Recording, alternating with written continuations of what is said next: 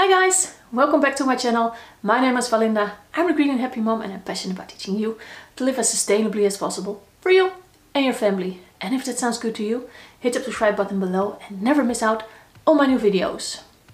What are we doing today? Today, well you can't really see it in here, we're making a lotion. And it's a very simple lotion. It has only five ingredients. The water phase has, you guessed it, water and a humectant. And I chose a very affordable and easy to use humectant, glycerin. And for the oil phase, we obviously have an oil. I chose argan oil, but you could use any oil you love.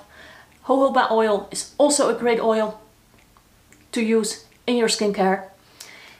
And I chose an emulsifier because naturally oils and water they don't really like each other and they need some encouragement to properly mix them. The emulsifier I chose is Olivem 1000.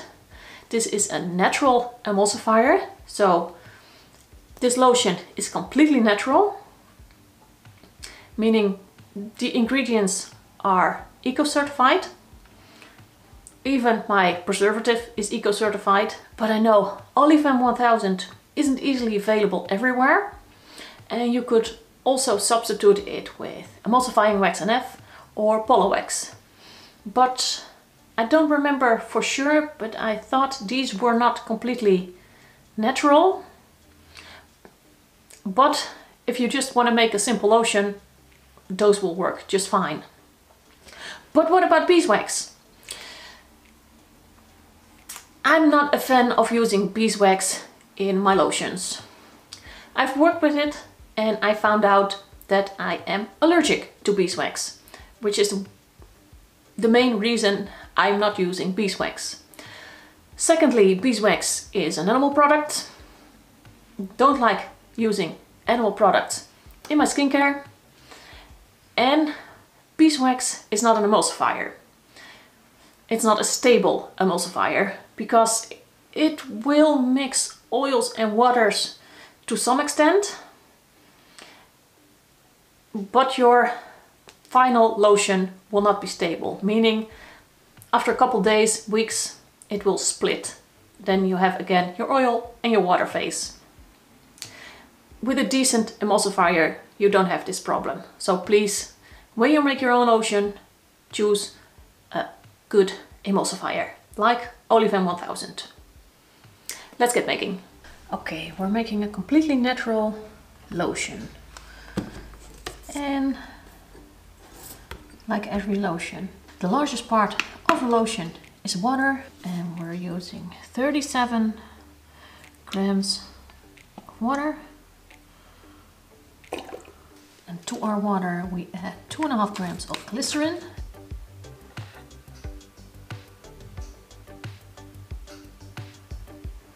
This is our water phase and now we're doing oil phase.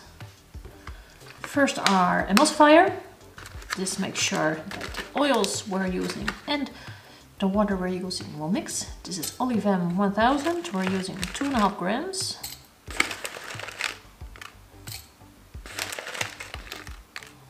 And we're adding our oil, seven and a half grams. I'm using argan oil, but you could use any oil you love seven half grams. At this moment we can't mix it because the emulsifier, the Olivem, is solid. So we need to melt it and we're gonna do that in a hot water bath.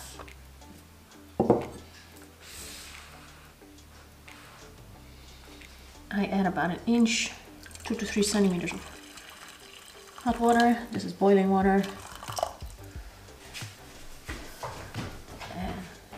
Adding our water and oil and therefore we use water and therefore we use heat resistant beakers.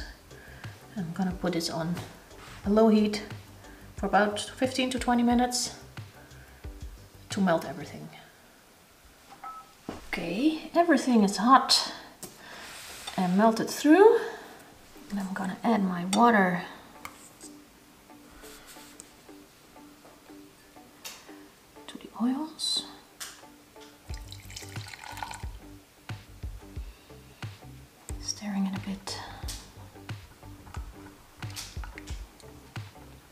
And then I'm gonna remove them. Obviously, we need to stir it a little bit more than what I'm doing just now. Therefore, we're using a stick blender. This fits this beaker perfectly.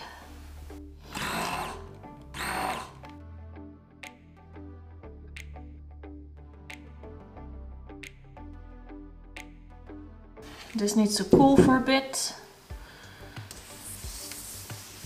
And in the meantime, we're gonna wait our preservative. I'm using an EcoCert preservative to make sure that our formulation remains natural. I'm using 1% and as we make a 50 ml batch, I'm using half a gram.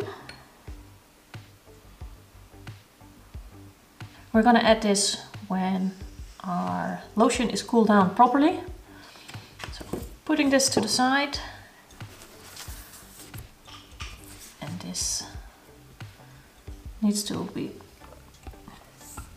yeah, it's still very liquidy. Very liquidy. We need to wait some more and then we're gonna stir some more. So it's been about 10 minutes. Gonna give it another stir. Thickened up a bit.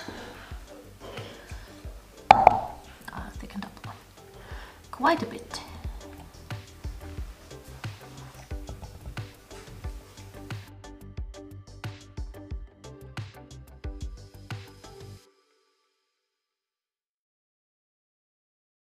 We're gonna add our last ingredient because it's cooled sufficiently.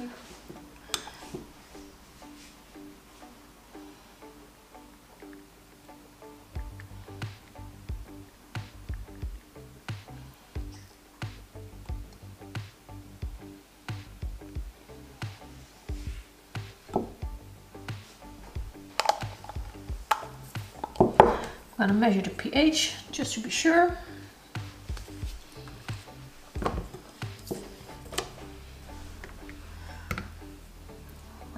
One gram of lotion with nine grams of water to make a 10% sol solution.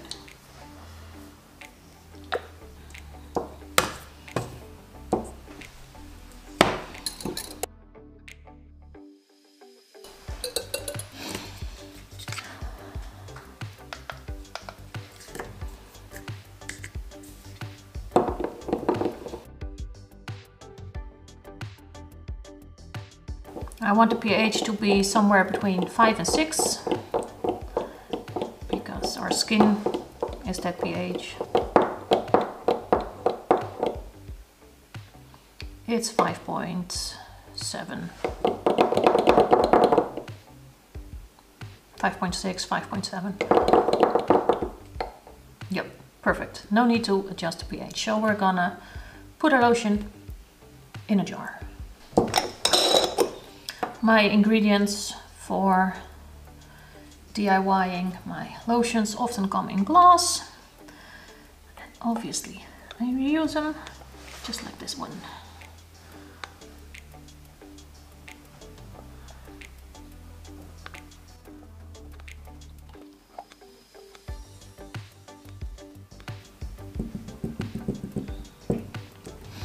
And with what's left I can give a demonstration a bit too much.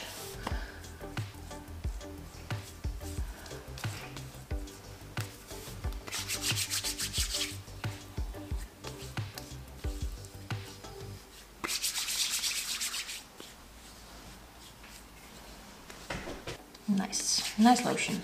Very simple, completely natural, no synthetic ingredients. It's perfect. Thank you so much for watching this video if you liked it. Please give it a thumbs up and I hope to see you next time. Bye guys.